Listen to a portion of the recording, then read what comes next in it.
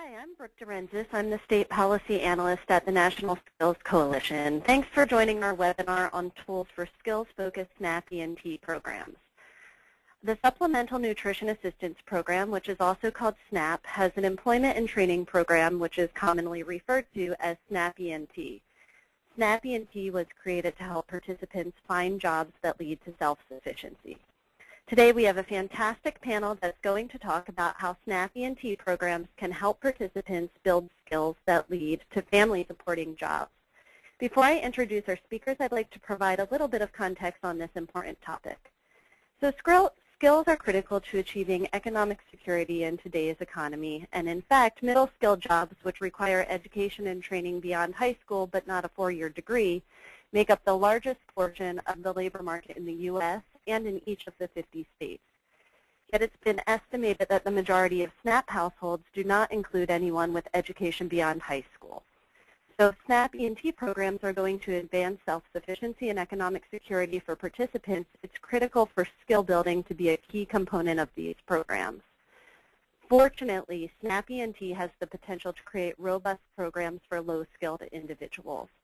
States can use multiple funding streams, partnerships with workforce development organizations, and data to help SNAP E&T participants get the skills and supports they need to find stable family-supporting jobs. With generous support from the W.K. Kellogg Foundation and the Annie E. Casey Foundation, National Skills Coalition has partnered with the Seattle Jobs Initiative to help more states develop and grow skills-focused SNAP E&T programs. And as part of that effort, we've asked today's speakers to discuss tools for creating skills-focused SNAP E&T programs. So we're going to kick it off with Rachel Gragg of the SNAP Office of Employment and Training in USDA's Food and Nutrition Services. She's going to kick it off by discussing how SNAP E&T is part of the skilled workforce solution and how states can use SNAP E&T funding and third-party partnerships to build skill-based programs. Next, we're going to have two presenters who will provide real-world examples of how the tools described by Rachel have been used in states. We're going to have Steve Ovel, the Executive Vice President of Governmental Relations at Kirkwood Community College, Cedar Rapids, Iowa, and he's going to discuss two complementary state programs that Iowa has used to expand career pathway opportunities for SNAP participants. Then we'll have David Kaz, the Director of Policy and Communications at Seattle Jobs Initiative, explain how Washington State used third-party partnerships to grow its highly successful basic food employment and training program. Finally, we're going to have Rachel Zinn, the Director of Workforce Data Quality Campaign, discuss how data can be used to enhance SNAP E&T efforts. Before that, I do just want to review the National Skills Coalition's mission for those who aren't familiar with us. We organize broad-based coalitions seeking to raise the skills of America's workers across range of industries. We advocate for public policies that invest in what's worked as informed by our members' real-world expertise. And we communicate these goals to an American public that's seeking a vision for a strong U.S. economy that allows everyone to be part of its success. So with that, Yuri, are we ready to turn it over to Rachel Gragg? Great, thank you. Rachel, go ahead. Okay, thanks, Brooke. Um, and thanks for, to everybody who's on this call. Um, it's great to see growing interest in this program. Um, I think there's a real window of opportunity right now to do a lot of interesting things with SNAP E&T. Um, and, um, you know, I think the growing understanding of the power of the program um, uh, is, is great. Uh, and sort of on that point, I, before I start talking about the details of the program, I really do want to stress the, um, the new attention to this program at USDA and at FNS. Um, we have uh, created a new Office of Employment and Training in the agency um, with six staff in the national office. We are in the process of hiring um, an E&T specialist for each of our regional offices. We have seven regional offices, so we will have a total of 13 uh, staff working on this program in the next few months here. And um, the focus has really been on looking for people who have a strong background in workforce development. Um, because the point of this program really is to help people get the skills they need so that they can get a job, get a better job, um, increase their earnings and move towards economic self-sufficiency. This is about moving people off of SNAP the right way by helping them increase their earnings and do better for themselves and their families. And the agency from the secretary down is really committed to this um, this approach. So, like I said, the opportunity to do something interesting with SNAP E&T in your local community in your, or in your state um, is very significant right now. So, Yuri, if you want to go to the, the first slide. Um, SNAP E&T is this um, uh, underutilized, un, um, essentially untapped resource right now um, a consumer population that we just don't do a good job of reaching normally through job training programs, and that's people who are very low income, often very low skilled, and often with very high barriers to employment. And this program is intended to serve that program specifically. Now that we're competing for funds to serve that population, um, as we are in some other programs, but this program is designed and targeted to that, pro to that population specifically. It's a very flexible program, so there's a lot of things that you can do with it, um, including providing not just training, but also the wraparound and supportive services that we know are important to help people succeed in training. And it also allows for post-employment job retention services, which um, for up to 90 days, um, even if somebody has gone off of SNAP. So um, the the things that you can do with the program are, um, you know, are very customizable and um, uh, and, and there's a wide variety of things you can do. And the biggest uh, problem that we have right now, especially for somebody who you know, has spent the better part of my professional life begging for funds for employment and training programs, is that there are states that are actually leaving money on the table right now. Um, uh, we only have uh, 12 states in FY14 that spent all of their 100% funds, um, and the rest is coming back to USDA. Um, and in some cases is going back to the Treasury. So there are, there are funds available right now for workforce development that are going unspent. Um, and, you know, for those of you who've done this work, you know that we can't afford to leave money on the table. You want to go to the next slide, Yuri?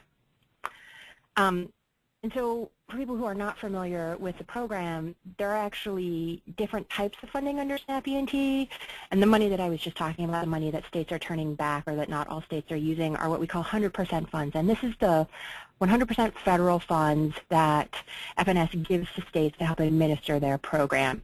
It's $90 million a year, so it's not a ton of money. It's probably not enough money.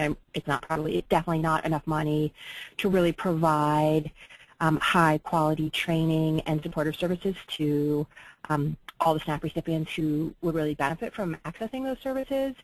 Um, so in addition to the 100% funds, there's something called 50-50 funds, and that's what I'm going to focus on today because that's really where um, I think the greatest potential to expand this program lies. And the 50-50 funds, there's sort of two categories inside of that, um, that funding stream. So there are 50-50 funds that um, can go to the state. And, and I should say 50-50 funds just means that um, for every non-federal dollar that a state spends on SNAP E&T, and by non-federal that means it can be state, county, city, philanthropic, social venture, really anything that is not a federal dollar and is not being used for a federal match. So your state does not have to specifically set aside um, funds that are earmarked for SNAP E&T. You can look at funds that your state is already spending um, to provide training services, particularly training services that um, SNAP recipients are likely to be receiving. And there's a good chance that um, if if we can sort of sort through the mechanics and the administration of it, that um, we could potentially be reimbursing 50% uh, of what's already being spent. Um, but there are two categories of those 50-50 funds. Uh, we can reimburse for administrative costs, which um, you know, are those kinds of activities that are required to run a SNAP E&T program. And um, it does include uh, tuition, though, in an administrative cost. And then there's other 50-50 funds, which are for participant reimbursements, and these are typically the supportive services that um, SNAP recipients are going to need to persist and complete um, an employment and training program. So it includes things like child care and transportation assistance, but also things like books, tools, uniforms, um, license, license, the cost of licenses, things like that. Anything that is deemed reasonable and necessary for a SNAP recipient to participate in an E&T component. Um, and that is, uh, that is an uncapped uh, reimbursement. We'll go to the next slide, Jerry. So the model that we really see a lot of potential in, so it's not just inside the 50-50 funding stream, but it's what we're calling a third-party partnership, which is a specific way of using 50-50 funds. We go to the next slide, Jerry. So third-party partnership is pretty much just what it sounds like. Um, sometimes it's referred to as a third-party match um, or a third-party reimbursement program. Um, it's actually incorrect to call it a match. Uh, one of the things that uh, people who are interested in this program need to be aware of is that it is a reimbursement, so you actually have to spend the money first, and then we can, um, the state would submit the um, uh, submit for reimbursement for what has been spent. So you do have to be able to figure out a way to um, uh, make a commitment to spend the money um, sort of upfront and then get reimbursed for it. But E&T, the way this model works is that E&T services are provided by a third party, like a community college or a community-based organization, um, using their own funds, um, funds that you're that they're likely already spending either through foundation funding or city or county or state funding, um, and then um, you submit to the state for the services that you have um, provided, and then get reimbursed 50% through, uh, get reimbursed, get reimbursed back 50% through federal funding. Go to the next slide, Jerry. Um, and here's just some like a, a, a, a, graphic representation of the sort of the process, right? So the state contracts, uh, and I and I do need to stress that um, if this is something, if you're a training provider and this is something that you're interested in, you would have to work with your state um, to try and uh, be written into their state SNAP E&T plan. Uh, the federal, the national FNS, um, our relationship is with is with the regions, and the region's relationship is with the states. We would not be able to contract directly with the service provider um, to receive SNAP E&T funds. The funds flow through the state. So the state would have to contract with a local employment and education or training provider to provide the E&T services. That provider uses non-federal funds to pay for those services and then submits a claim for reimbursement. FNS reimburses the state 50% for the allowable cost, and then the state passes the reimbursement back to the partner. Um, and this just tracks, like I said, our relationship is really with the state, and then the state, your uh, as a provider, the relationship would be with the state. Next slide, Jerry. Um, so there are both pros and cons to this third-party reimbursement model. Um, I actually think the benefits outweigh the challenges, and there are a lot of benefits. So you can see it's a way to maximize dollars that are already being spent. It really lets you leverage um, investments that your state or foundations are already making in the services that you might be providing. It allows you to expand the types of services available without creating new costs. So um, uh, under SNAP E&T, you can um, really do one of two things. You can create new capacity to serve additional people, or you can add additional services. So if you're, for example, you're a training provider, um, and you've got 100 slots available now, but you um, you enter in a SNAP E&T contract, you, let's say, you know, we can, um, you could create, you could serve 120 people next year, so you can create new slots using SNAP E&T funds to serve SNAP recipients. Or if you're a training provider and right now all you're doing is providing training, but you also want to provide transportation or child care assistance, you can add those as wraparound services to the services that you're already providing for SNAP recipients using SNAP E&T dollars. So let's you create new capacity and new services if that's something that you're interested in. Um, uh, it can also help organizations um, administer the program. So as I said, it can cover administrative costs, um, and can cover um, things like uh, case management and career navigation, um, uh, or additional staff capacity if if you if that's part of what you need um, to to to create and or run a SNAP E&T program. Um, and in a perfect world, it also starts to align systems. You know, SNAP E&T is one of those unusual programs that um, cuts across uh, programs and systems. So it's a job training program in um, nutrition agency. So, you know, you really can't operate in a vacuum when you do this. The SNAP agency can't or shouldn't at least really um, be trying to do job training, and the job training provider really has to work with the SNAP agency to make sure that the SNAP recipients um, are, we're doing everything that we need to to make sure the SNAP recipients are still able to access their nutrition benefits, um, even while they're enrolled in a job training program. So it starts to um, get organizations and programs and agencies to talk to each other, um, ideally leading to better alignment across those systems. And of course, the real end goal of SNAP E&T is to try and help SNAP recipients increase their skills so that they can um, get a job or get a better job and increase their earnings and ultimately, ideally, become less dependent on receipt public assistance. Um, so there's really, I, am not kidding when I say that this program is just, um, you know, full of uh, currently untapped potential. Um, which is not to say that there aren't challenges as well. So um, in particular, I think there are administrative challenges. You really do have to work closely with your SNAP agency um, to do this, you have to have internal administrative capacity because there's a lot of um, sort of regular and routine um, administrative functions that have to happen. So um, SNAP E&T can only be provided to people who are receiving SNAP benefits, um, and people on SNAP, as you can imagine, go on and off the program uh, pretty frequently, and so you have to um, make sure that you're regularly verifying SNAP eligibility for participants. You have to anticipate service levels throughout the year. You have to make sure that you're carefully tracking both the non-federal funding sources and what you're spending your funding on to make sure they're allowable expenses. Um, and the financing can be complicated and uh, it can be difficult for a small CBO because you do have to, like I said earlier, you have to be able to put the money up front and then get reimbursed. Um, and so for smaller CBOs in particular with uh, small budgets, that can be that can be difficult. You want to go to the next slide, Jerry? Um, the other thing that's really happening is happening inside the agency, and I think um, as more states develop these skill-based E&T programs instead of um, some of the older style E&T programs, which were more focused on sort of keeping people busy doing things like um, very light touch job search or something like that. It is helping people think differently about this program. So, right, so SNAP E&T should not be a one-size-fits-all program. SNAP recipients come with all different skill levels and lots of different kinds of barriers and need lots of different kinds of services um, and different access to different kinds of training programs. So if you're thinking about how to design a SNAP E&T program, you really should be um, trying to think about um, what is best for that client. We really do want to encourage client-centered training models um, you know, and it should not be, you should not be looking at SNAP E&T as a way to just funnel a bunch of people through your program, um, but really trying to look across what's available in your community and figure out what is the best place to place a SNAP recipient so that um, they will succeed.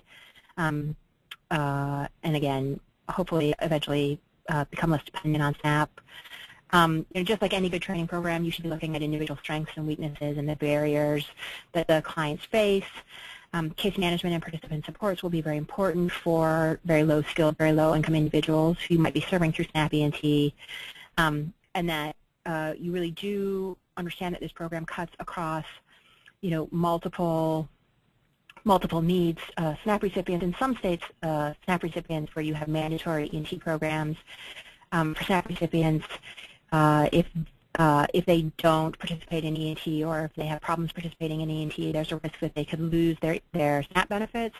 So it really is incumbent upon the education and training provider to understand what the requirements for SNAP E&T are in your state and make sure that, um, especially in a mandatory state, that we're not doing anything that could cause a SNAP recipient to lose their benefits um, uh, because we're not providing what they need to um, meet the E&T requirements.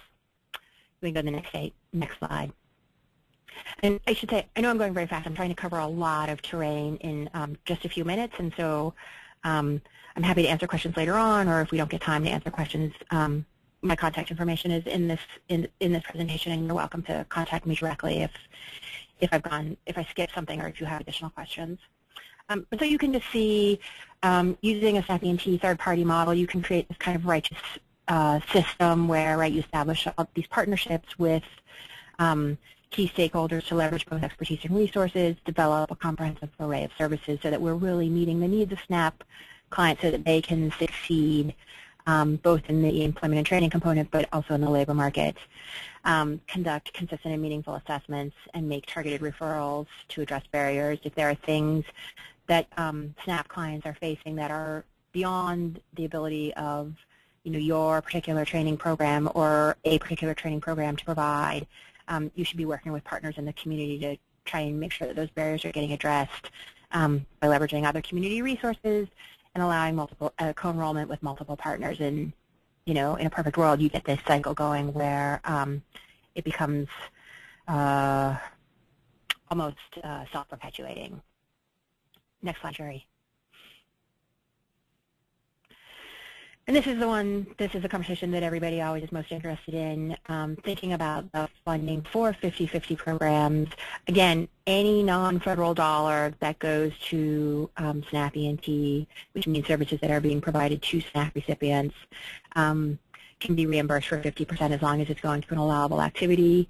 State, county, or city funds, donations from private firms or nonprofits, foundation funds, social venture funds, um, government entities can do can make in-kind donations, um, you can use uh, CDBG funds. There's a, um, the way the underlying statute is written allows um, CDBG funds are federal funds, but um, there's a provision in the authorizing language that allows them to be used to, as a match to other federal grant programs.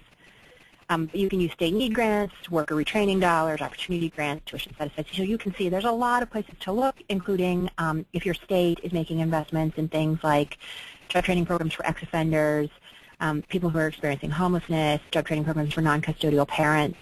There's a very high likelihood um, that at least some of those individuals, ex-offenders, people who are homeless, people who are non-custodial parents, there's a very high likelihood that they may be eligible for SNAP. Um, uh, and if you can get them enrolled in SNAP or if they're already receiving SNAP, um, you can, um, uh, we might be able to reimburse some of those funds. So um, next slide my contact information. Um, I think it will be available at the end of this presentation again, but I'm happy to answer questions if people have them. Great. Thank you so much, Rachel. Um, next, we're going to be hearing from Steve Ovel at Kirkwood Community College, and he's going to be discussing how Iowa has put SNAP E&T into place. Steve? Thank you very much, Brooke, and uh, thank you to uh, all of you participating today. I've been asked to share at least uh, one state's experience and how we're trying to adapt several new workforce programs to the SNAP E&T 50-50 matching program, and that, that alignment uh, is working very nicely. Uh, the first program I'm going to talk about is the Gap Tuition Assistance Program. Uh, this is a program uh, that you can uh, access through Iowa Code Chapter 260I. It was created in 2011 by the Iowa legislature, and it really was designed to address uh, much like uh, states across the country, are growing shortage of skilled workers with a focus on low-skilled adults. Uh, many states like Iowa that have, uh, are experiencing flat population growth, declining numbers of students coming out of our K-12 system, an aging population, increasing retirements. Uh, to a great extent, the workforce that's going to drive our state's economy in the years ahead to a great extent already exists in the Iowa workforce. Low-skilled, low-income working adults with little or no post-secondary training or education. And so the Iowa legislature, kind of recognizing that reality, created a series of workforce programs, sort of a portfolio of programs, of which the Gap Tuition Assistance Program is one. This program was first funded in fiscal year 2013. We're now receiving $2 million uh, in an annual appropriation from a new fund that was also set up in that same year called the Iowa Skilled Worker and Job Creation Fund.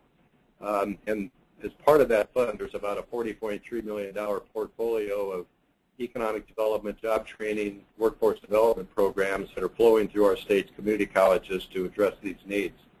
Uh, these funds are distributed to Iowa's community colleges on a formula basis to ensure that every region of the state has access to these funds, and the program uh, is delivered by our state's 15 community colleges.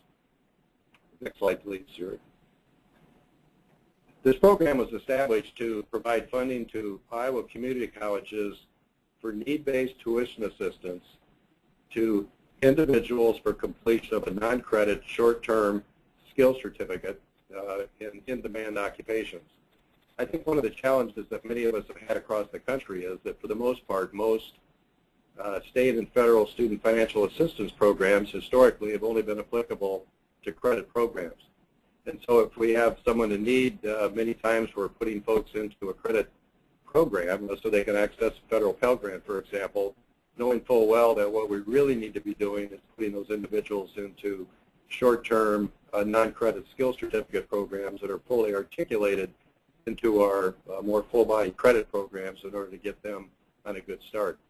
Uh, this program has an eligibility threshold of 250% of the federal poverty level, um, which is higher than what the federal workforce programs are. And in fact, the term gap really came from uh, our identification of a gap between 150 and 250% of the poverty level, where we really didn't have uh, federal funding to support those individuals uh, with any kind of tuition assistance or wraparound support, but a great a significant need on the part of tens of thousands of Iowans in that range.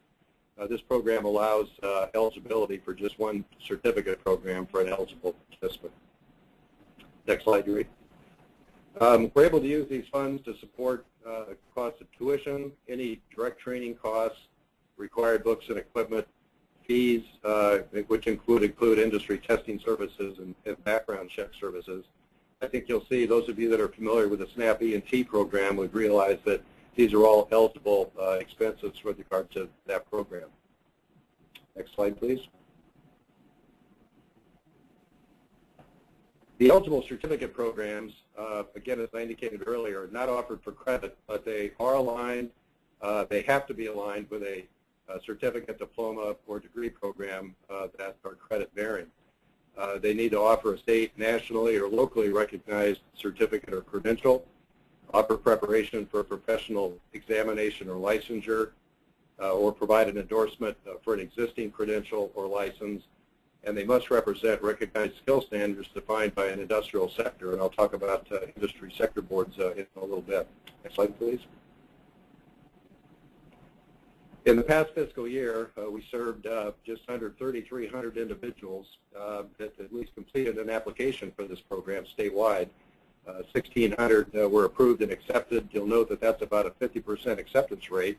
Uh, this program was not designed to be uh, an entitlement program. It was designed to have a fairly strenuous eligibility threshold to ensure that participants have a very high degree of, of ability to complete the programs. Um, you can see the numbers of those that completed the training, those failed to complete, and those that were still, at the time of reporting, were still in training or waiting to participate.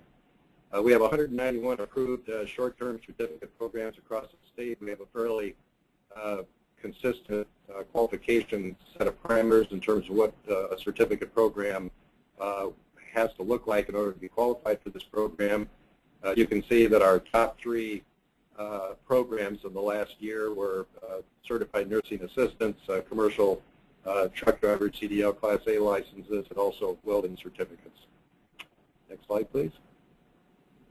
The second program uh, that I want to talk about is uh, our Pathways for Academic Career and Employment program, which I'll just refer to as our PACE program. Uh, it's codified in Iowa Chapter 260H, also created in 2011 by the Iowa legislature uh, for the same reasons I described earlier. It was first funded in fiscal year 2014, so uh, a year later, uh, after we got initial funding for the GAP Tuition Assistance Program, uh, it represents a $5 million annual appropriation, uh, again, from the Iowa Skilled Worker and Job Creation Fund, also distributed to our community colleges on a formula basis, and all 15 colleges participate. Next slide. This program was established to provide funding to our community colleges for the development of projects that will lead to gainful in-state employment for members of target populations by providing them with both effective academic and employment training to ensure gainful employment and customized support services. Next slide. Just to kind of run down through some of the characteristics of the program, uh, target populations, uh, those that are deemed uh, to be low skilled, again, uh, a 250% uh, income threshold, individuals that are unemployed, underemployed, or dislocated uh, workers, eligibility criteria for projects under the PACE program. They need to be designed so that individuals can acquire and demonstrate competency in basic skills, acquire and demonstrate competency in a specified technical field, complete a specified level of post-secondary education, earn a national career readiness certificate, obtain employer-validated credentials, and secure gainful employment in high-quality local jobs. The program component requirements uh, you know, a, a, full body of, uh, you know, recruitment assessment, referral activities, strong focus on integrating basic skills and work readiness training with occupational skills training, uh, combining customized supportive and case management services with other training services to ensure that the participants can overcome barriers to employment. And again, providing training at times, locations uh, that are very, very flexible. Uh, it involves, uh, you know, putting pipeline programs into place, and of course that's working with our many community-based organization partners uh, who are referring many individuals uh, to this program. Uh, the Career Pathways uh, program also includes a bridge curriculum development program to ensure that those bridges are in place between our non-credit and credit programs. I think the two most important aspects of this program is that our, our community colleges may use these monies to employ pathway navigators to assist the students in applying for and, enrolling them in eligible pathways for these particular projects. These really are the educational caseworkers, and these are the individuals, you know, that Rachel referred to earlier that we need to make sure that there's a strong uh, case management, supportive service uh, connectivity to our community-based partners, many of whom are providing uh, very, very similar services to many of these same individuals. Uh, most of the funds that we're utilizing are helping to support staff across the state. I think statewide we now have probably around 45 individuals, full-time staff that are serving as pathway navigators or working directly with the Tuition Assistance Program to provide that support.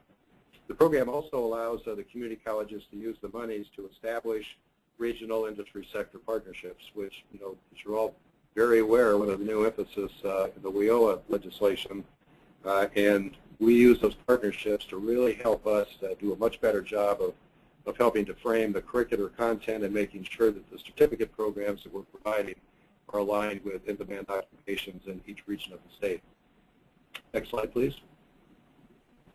Uh, you can see here again uh, the number of individuals that uh, we've served in the past year uh, looks very similar to the GAP program, and much like the GAP program, we're you know we're seeing a, a completion rate you know well in excess of 80 percent uh, and we're satisfied with the overall employment rate of individuals coming out of the program. Next slide, please. And so now we tie it into uh, a, pilot program that three Iowa community colleges are participating in. Our Department of Human Services, which is responsible for the SNAP program, wanted us to kind of start small in this regard, but clearly the funding that is being made available to our colleges through the GAP and, and uh, PACE programs are really attempting to accomplish the very, very same objectives that the SNAP E&T program uh, is, uh, is wanting to address. Uh, our plan is that next year we'll expand uh, the program to include additional community colleges. I know we've had more than half already expressed their interest in doing so, and we've identified one community-based organization in Des Moines that's uh, very interested in joining the program as well.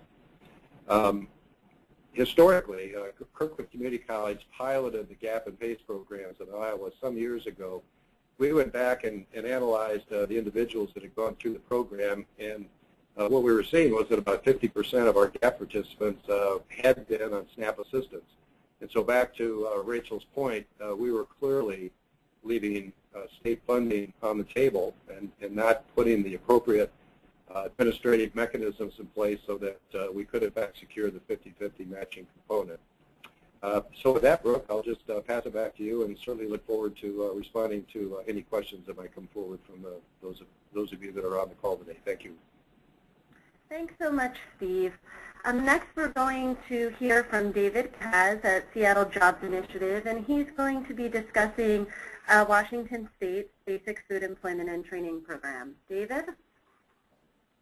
Yeah, thanks, Rachel, and thanks everybody for joining us. Uh, you may have heard a few things already about Washington's SNAP E&T program, which we do call BFET. And um, for those who are, you know, well along planning your SNAP E&T programs, for those of you who are have no action in your state yet, I just want to say that Washington was able to build a robust, successful program utilizing SNAP E&T 50-50 funds and that you already have in your state the resources. You have your community colleges, you have workforce intermediaries, you have community agencies doing employment and training for this population from which to build a successful 50-50 program. You just need to reframe your strategy, build a plan to take advantage of your current uh, assets to do so. So let's go into the presentation. Next slide, please, Yuri.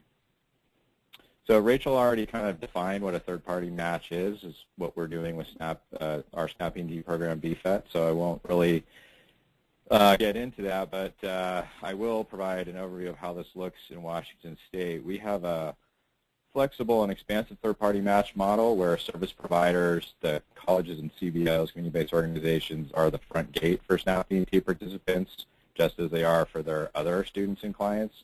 And then they have the ability to assess potential participants and refer appropriate people back into the to the state to complete the enrollment into SNAP E&T, and then they can provide them services and get their uh, reimbursement, or they can cross refer them to other providers programs if those are more appropriate. Uh, so next slide, please, Ray.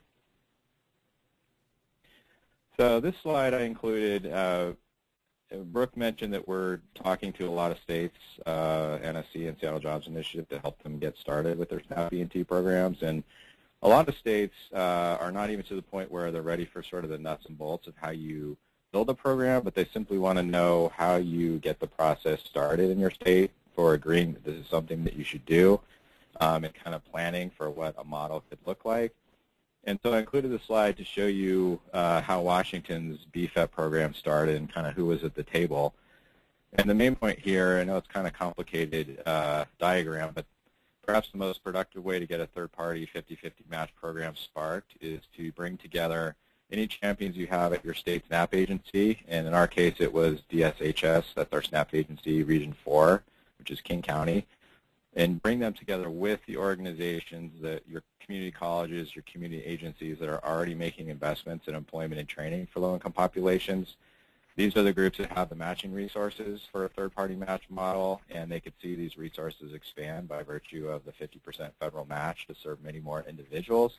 So they should be highly motivated to participate. Um, and in Washington, these groups came together to form a SNAP E&T pilot planning group, which you see there.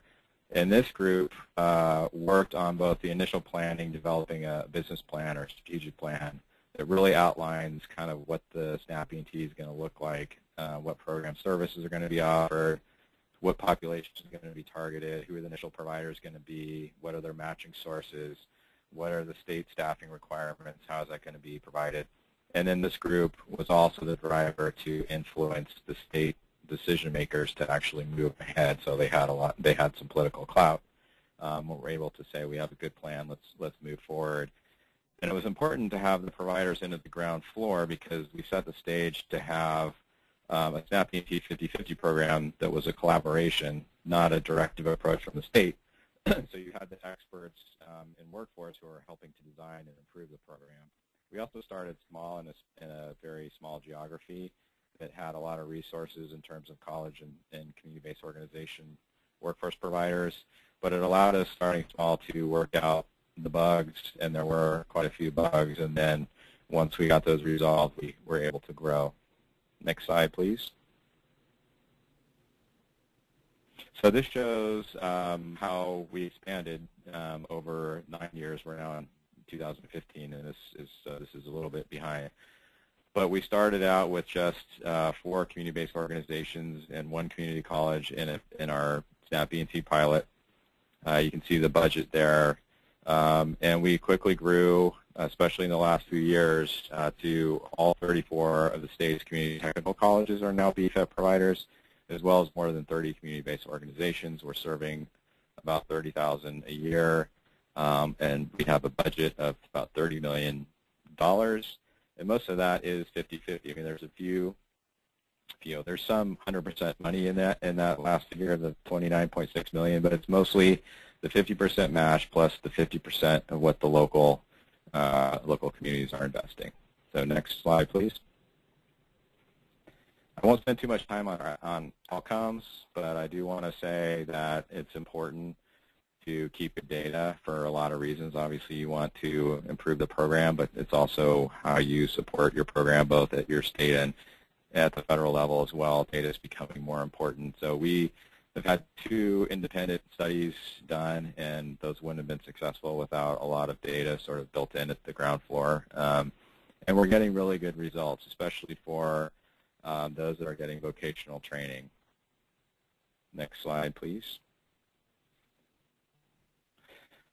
So this slide here um, depicts sort of the administrative structure. In many, if not most states, I think SNAP E&T has really been a matter of states using their 100% funds or a portion of those, as Rachel was mentioning, to fund sort of a few small programs here and there with no real overall strategy or a sort of a robust program. And this is what we were doing in Washington prior to BFET 10 years ago. Our state had about, I think they were investing about 150,000 annually across the whole state to fund a few random services. In building a 50-50 program, the state can look at their 100% funds differently. 100% um, funds, rather than sort of piecemealing them out, you can use those to build and support an infrastructure for a more robust program where program services are being provided by colleges and workforce providers using their own non-federal funds plus the 50% reimbursement that they're getting.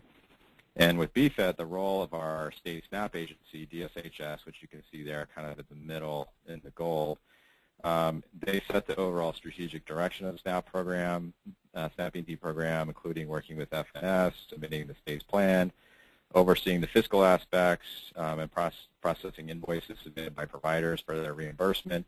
They do outreach to and training of new providers. And then at the bottom there, DSHS the CSO, which is our community service office. Um, this is where most of the staffing at the state level is, and what they do is manage the enrollment process. So they're working with providers to enroll eligible individuals into SNAP E&T that are referred to them by the providers.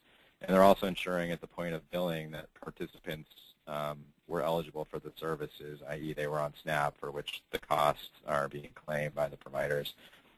And then the state contracts directly with 19 community-based organizations. It's actually more now. Um, they also contract uh, for services with our State Board for Community and Technical Colleges. They could, and they used to contract directly with the, the colleges, but this is sort of an, an umbrella that re reduces some of the administrative burden on the state uh, um, to work through SBCTC. So um, next slide, please. So our um, uh, BFET funds are being used by the community colleges for these purposes. Um, staff to administer the program, so that's the staff that works with the state, goes back and forth rosters to see who's eligible among their students. Um, they also use funds to support staff that work directly with BFET students, such as providing navigation services at the college. It's being used for tuition, books, fees, supplies. Um, they use it as bridge funding. It's, it's uh, primary uh, focus for these funds. So a student will come in, they don't have resources to pay for college. It will take them a while to fill out the FAFSA form. So rather than sort of losing them, they'll use, say, yes, we have funding. It's, it's BFET funding. Um, we can support you through one or two quarters and while you uh, fill out your FAFSA and your federal uh, aid kicks in. They also use it for uh, college-based support services. You can see there the sources of match. Washington has very generous um, financial aid, state-funded financial aid for low-income students. So we're lucky in that way that we have a ready-made match. Even with that, colleges are challenged by sort of cobbling together uh, different funding sources, including the BFET reimbursement to fund students and make sure that it lasts. Sometimes they'll run out of these matching sources and, and leave some uh, SNAP E&T dollars on the table, but um, for the most part, uh, that they're able to do this very effectively. Next slide, please. So the community-based organizations are using their uh, BFET or SNAP E&T funds for these purposes, basic skills, job search, job readiness, vocational, uh, sector-based skills training, case management or career, college navigation, and, and support services.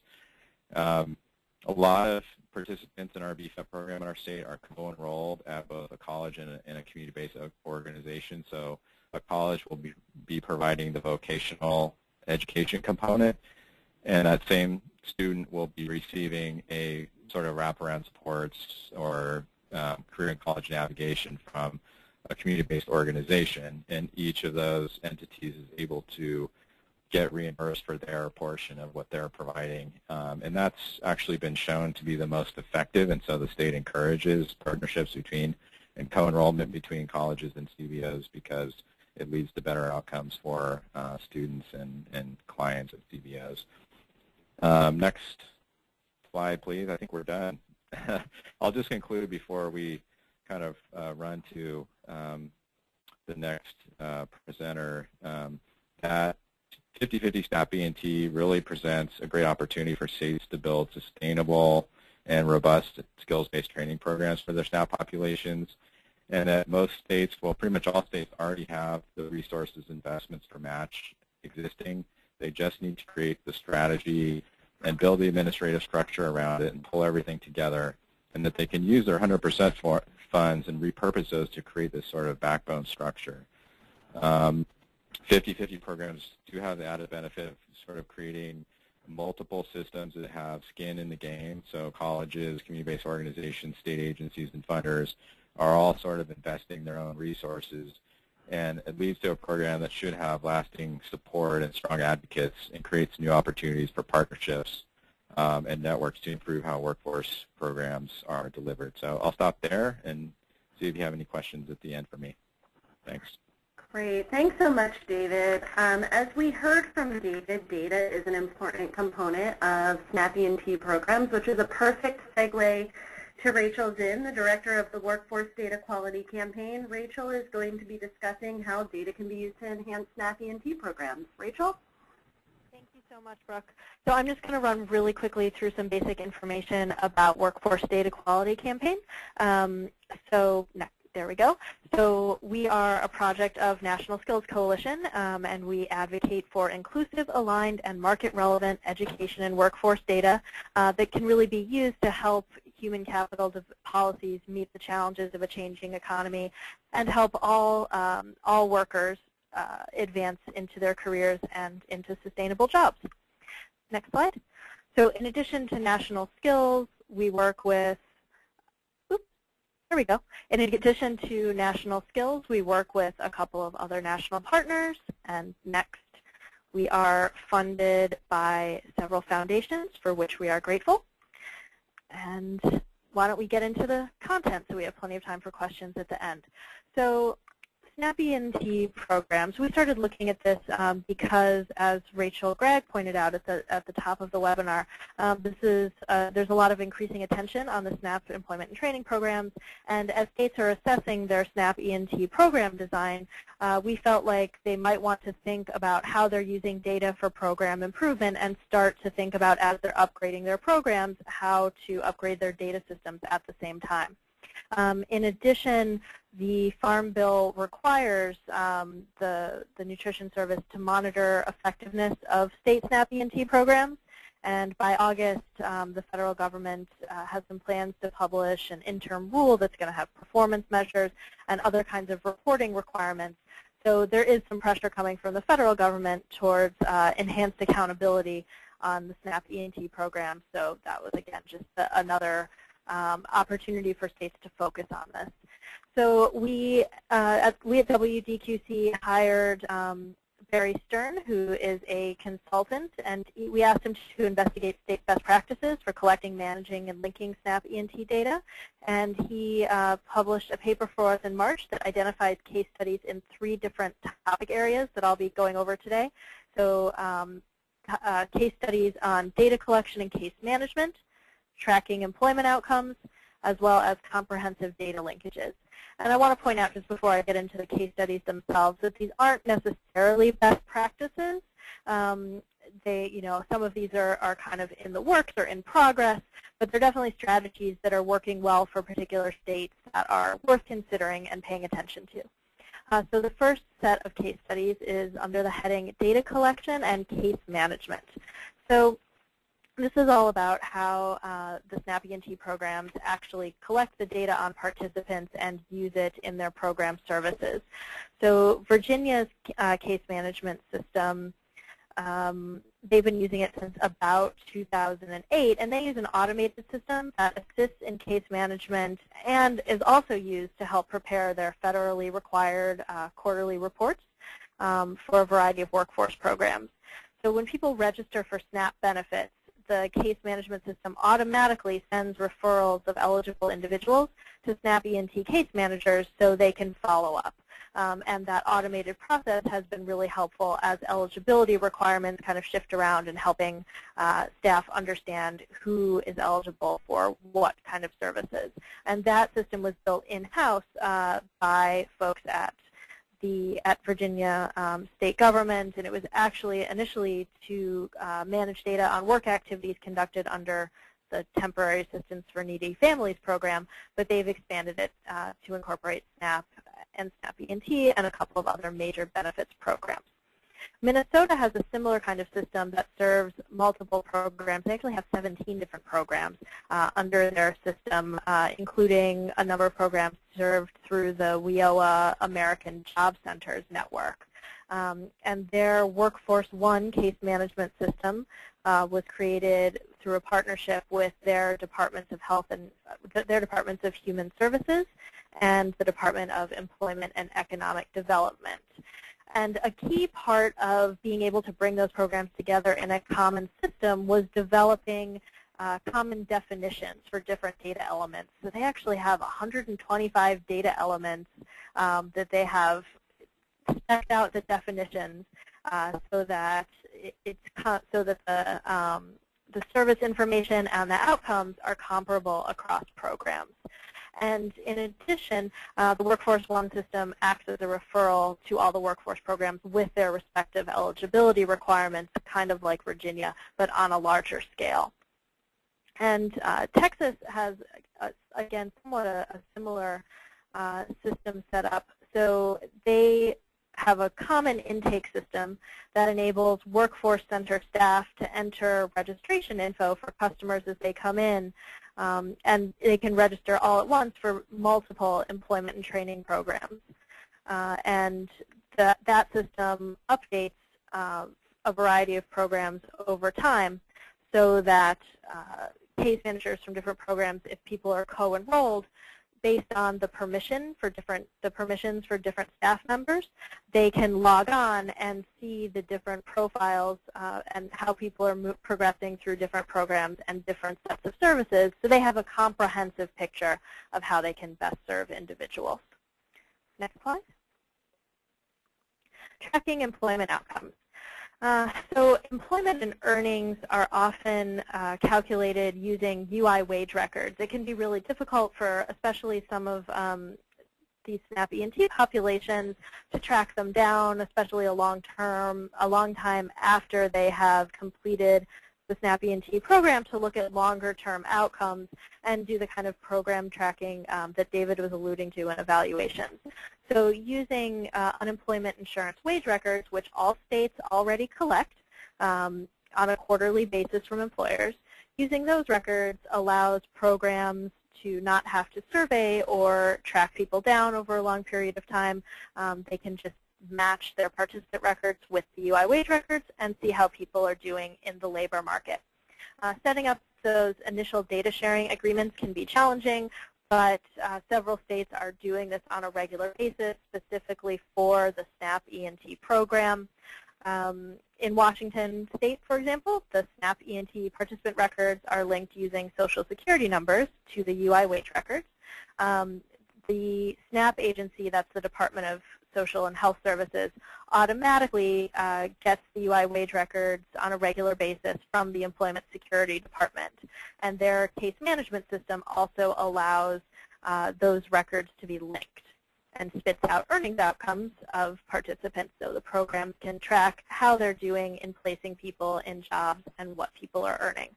Um, Texas also has a long history of matching those records uh, they have common performance measures across all of their workforce programs, um, and they have UI wage data included in their reporting system that allows tracking of employment, job retention, and earnings outcomes.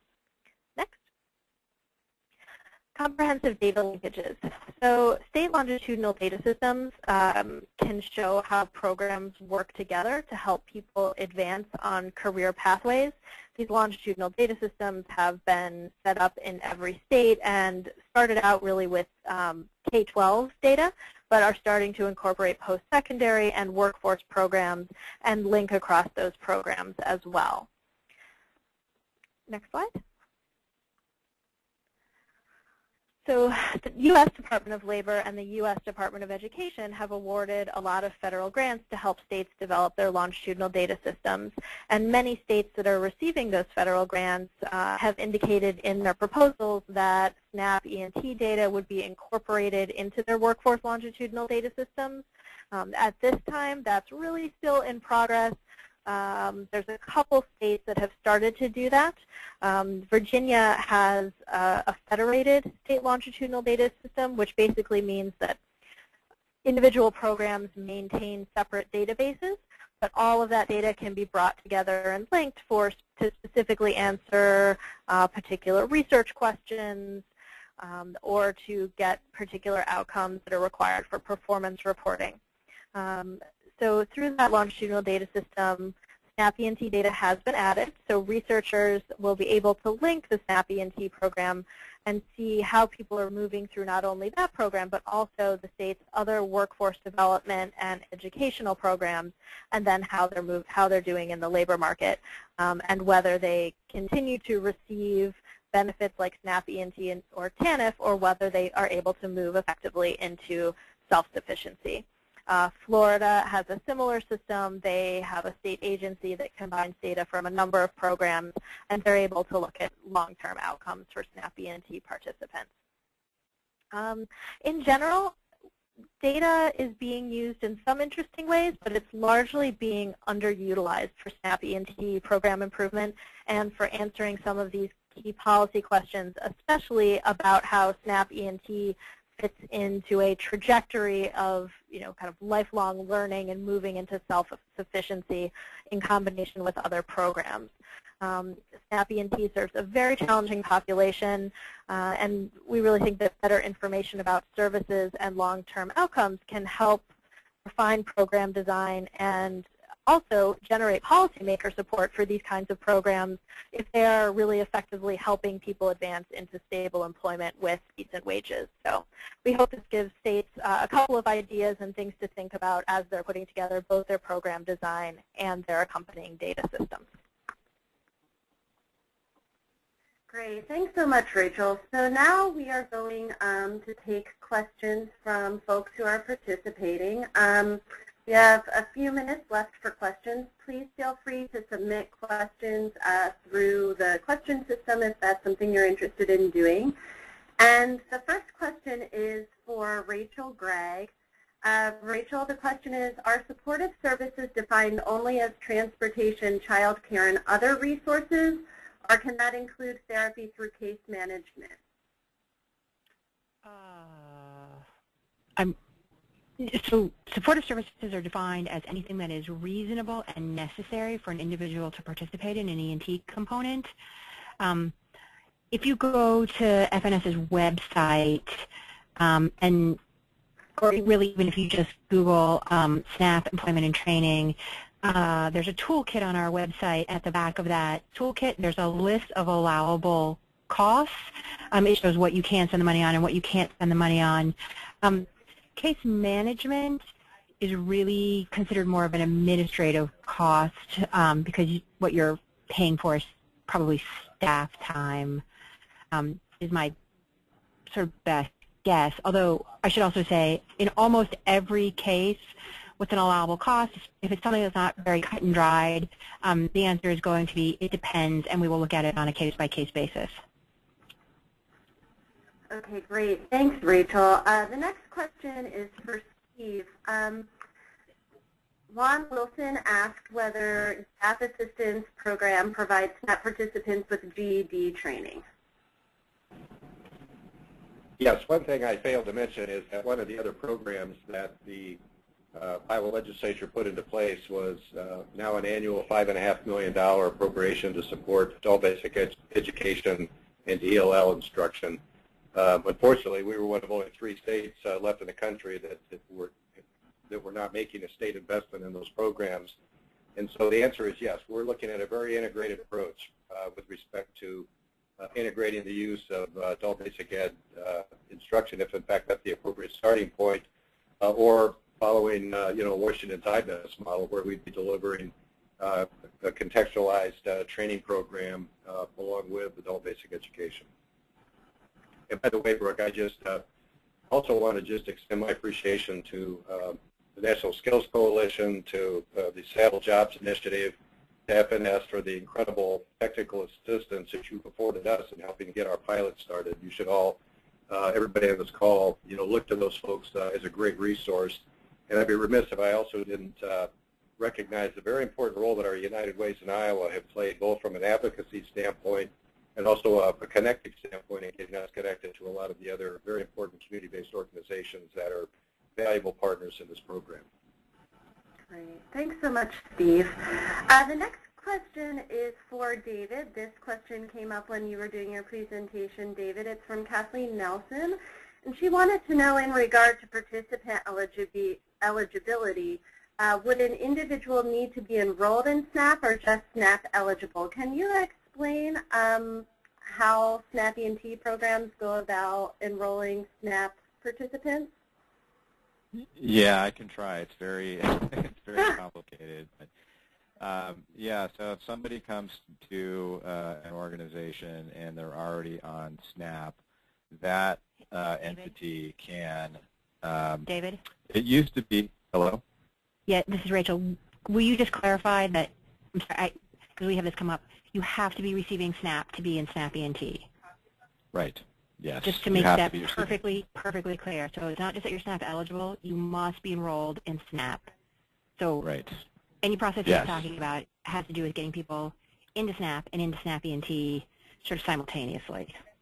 Right, exactly. Yeah, so I mean somebody could already be on enrolled in SNAP or it could be that the front door entity uh, sees that they're eligible for SNAP and they are enrolling them in SNAP as part of the process, as Rachel said, of enrolling them in SNAP E&T. So they'll come into the front door of a community college or a community-based organization, SNAP provider, um, and they'll be um, on enrolled in SNAP. They will be then assessed to see uh, whether they're appropriate for the SNAP E&T program. They will then be, um, it used to be that they would be referred to the state SNAP agency and they would make sure that yes, indeed they are eligible for the, pro, the SNAP E&T program because they are on SNAP and that they would then enroll them in, in the uh, SNAP E&T program and then they would, so it's a roster-based uh, process where the provider is sending a roster of names and the state is then checking against that roster within their database to make sure they are eligible and sending that list back um, to the provider and saying, yes, these people are eligible, or in some cases, um, certain people may not be eligible. Um, so that's kind of the process we developed. We've actually, the state recently has made it a little bit more simple because uh, the process was uh, could take some time, and the providers are trying to operate in real time. They need to know sometimes is this person um, eligible to be in the SNAP E&T program. So now providers, some providers are choosing to uh, because they have access to the state's EJAS database system, they can get in and enroll somebody. The state still has to check and, and ensure that, yes, they are, in fact, eligible. So that's kind of the process. It's very, very complicated, but I can explain it offline if need be. Great. Thanks so much, David and Rachel. Um, the next question, I think, is for Rachel Gragg. Uh, there's a question, Rachel, about how one goes about finding out which agency in their state administers funding. Sure. So um, in most cases, it's going to be uh, the agency that administers your SNAP program, which is likely in whatever your Health and Human Services Department is. Um, there are a few cases where um, that SNAP agency passes the money through to the Department of Labor or whatever your workforce agency is. But in general, I would suggest that you start um, with your, just the agency where your um, uh, the, uh, the department where your SNAP agency is housed. Thanks, Rachel. Um, this is a question maybe for Steve or David. Uh, do either of you have um, thoughts around best practices for ESL SNAP E&T participants. And I know Washington State has some partnerships with its Office of Immigrant and Refugee Affairs. Is that right, David? We do, yeah. If, uh, there was uh, on the diagram slide that I showed in terms of how we administer the the state SNAP agency DSHS has a um, a component of it that's called ORIA that focuses on immigrant and refugee populations and, and supporting them, including through employment and training. And they have sort of um, almost a letter of agreement between them and the part of the agency that administers uh, SNAP E&T to provide employment and training services. So they will contract out um, to community-based organizations throughout the state to provide these services. And they're more of a traditional model where they're actually matching at the state level in terms of getting 50% reimbursement, and they're and that part of the state agency is using those additional funds to expand the size of their contracts with these E&T providers to the ELL population so that they can serve more people. Great. Thanks so much, David. Um, the next question is for Steve. Steve, somebody asked if you could talk a bit more about the particular roles that pathway evaluators play in your program, um, specifically whether they work with programs that feed into community colleges and whether they follow up um, doing job retention or follow up with participants when the program is complete.